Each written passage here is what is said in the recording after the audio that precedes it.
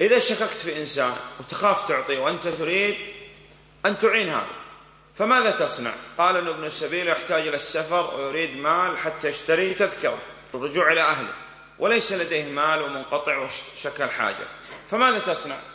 تذهب وتشتري له تذكرة والحمد لله جاءك إنسان وتشك فيه أنه يريد المال للمخدرات مثلا فماذا تصنع؟ قال تعبان مريض واحتاج إلى طعام. أعطني مما أعطاك الله.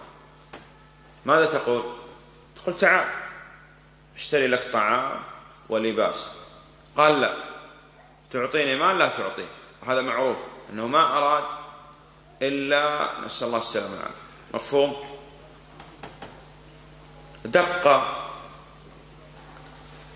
فقير على رجل غني من الأغنياء دق عليه الباب. قال من؟ قال سائل قال انصرف.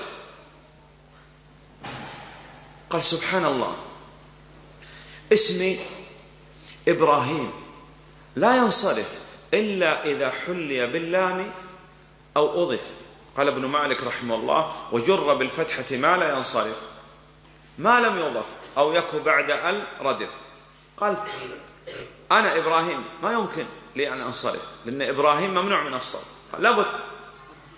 إذا حلي باللام أو أضف تحلي أنصرف وإلا فأنا باقي.